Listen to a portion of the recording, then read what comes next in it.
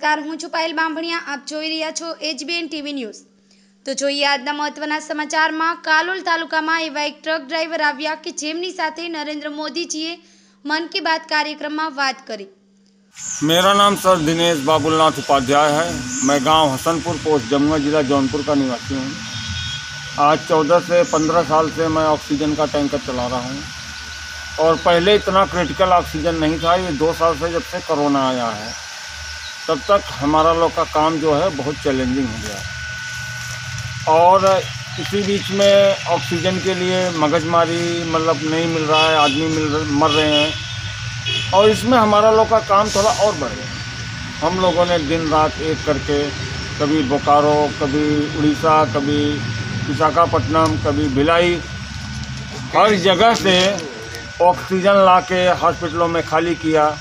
और किसी भी प्रकार से हम लोग अपने कर्तव्य को निर्वाह कर पाए। चाहे रास्ते में हमको खाना मिला, चाहे नहीं मिला, चाहे सोने को मिला, चाहे नहीं मिला, लेकिन फिर भी हम लोग अपने कर्तव्य पथ पर बढ़ते रहे।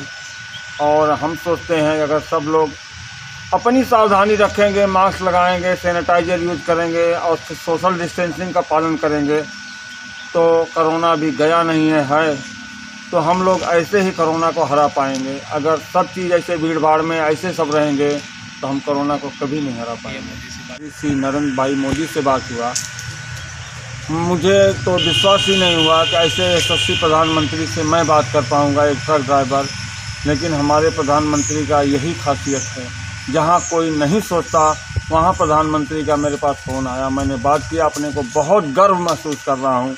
और अब दुगने ताकत से हम लोग ऑक्सीजन सप्लाई करेंगे। नमस्कार।